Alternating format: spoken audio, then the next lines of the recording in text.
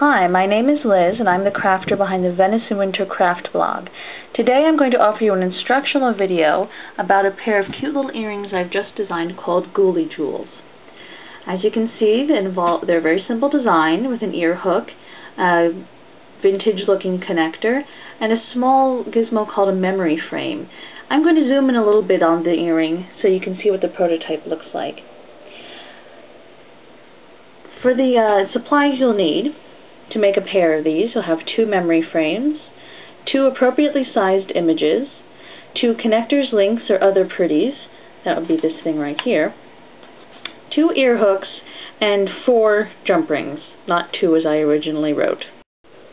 Other tools you may need would be round nose pliers, wire cutters, and a pair of, I'm actually not sure what sort of pliers these are, but they are very handy. So they're slightly thicker. I will try to figure that out for the next video. I also find manicure scissors are very useful when working with small pieces of paper, as we will be for the memory frames. Here is an image that I've cut out of an old calendar. I was going for something gothy and spooky, so there's a skull. You can sort of see faint pencil traces around the chunk of the image I want to use. Now, how I did that was removing the plastic cover from the memory frame and placing it over the image and tracing around it. I'm going to be demonstrating this next. Okay, here we have the other memory frame with this ghastly picture of a smiling couple. I want to get rid of that. First thing I had to do was pry off the plastic cover. It's a little difficult to see. I'll try to zoom in. And to do that, I just dug, with my manicure scissors, I dug into one of these corners and sort of prized it off. You have to be very careful. You don't want to rip the plastic, but it should pop right out. It's pretty tough. And you do the same thing with the image inside, and you can replace it with whatever you like. This is what's going to form your stencil, however. So you put it on top of whatever it is that you wanted to cut out.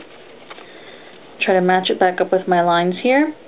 And you just cut it out very, very carefully, making sure you don't cut your plastic cover. And then you wedge it back in here, much like this sample photo is and I'm going to demonstrate that for you next. Okay, here we have the much nicer picture of the skull in the memory frame. You might have to fight with it a little bit to get it to tuck under these corners here, but um, it will stay. These things are pretty sturdy.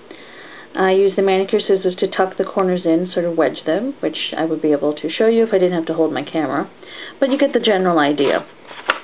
Next, you'll be reinserting the plastic, which is another two-handed job and you will end up with something like our little template over here, or prototype. You can see the plastic's back in, it's shiny. This should keep it protected from most weather, but I still would keep these out of the shower or out of rain or I guess maybe uber humidity if you're coming across that, just uh, to stay on the safe side with the paper.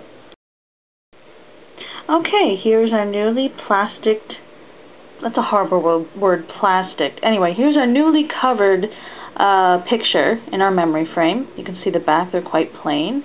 Suppose you could use it as a cabochon if you wanted to, but uh, here we're going to use it as a dangle.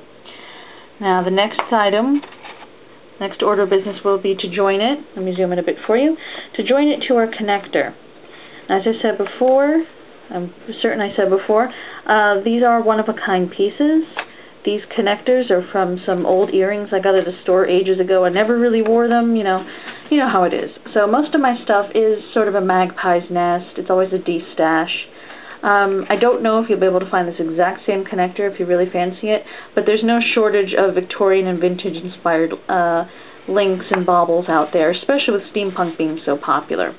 And remember Halloween is just around the corner, so I'm sure you'll be able to find a lot of these on sale. So all you do next is a very simple operation of joining up these two elements with a jump ring in the middle, and then zoom in a little bit more. Up here you'll add another jump ring to join it to the earring hook.